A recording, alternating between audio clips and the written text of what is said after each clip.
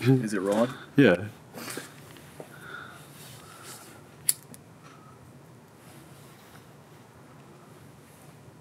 And the reason I got into guitar was simply just because I really loved music, and I my parents got me um, a toy guitar, and I'd listen to music for hours, and I'd pull out the guitar and I'd like try to figure it out, even though I had no music theory knowledge or anything at the time. So my parents they signed me up for guitar lessons. I was uh, 10 years old at the time.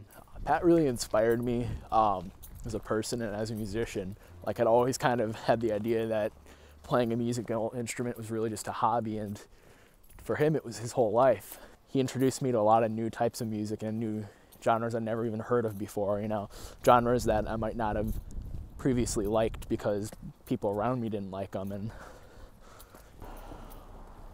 uh, Pat introduced me to James and David when I was uh, 15. So I'd been taking lessons from him for about five years then.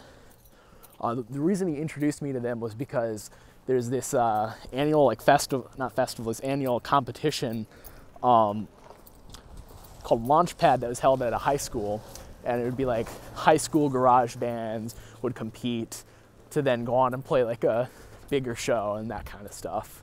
And um, they needed another guitarist for the upcoming Launchpad show, so Pat uh, got me in contact with them because James was actually a student at the time.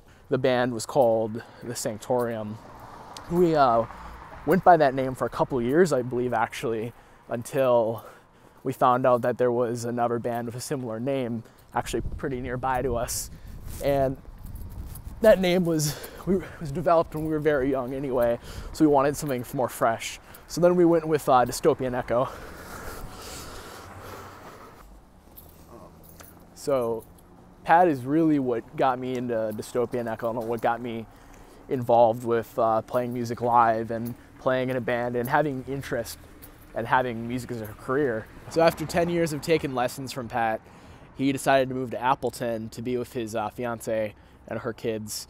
So he handed over Lake Mills music lessons to me, and I now teach beginner level guitar in Lake Mills. Still talk to Pat all the time. Uh, we, we call each other. I don't normally like calling people, but Pat's pretty old fashioned, so that's fine with me. I really feel grateful for Pat. He's done so much for me, and I think about him every day.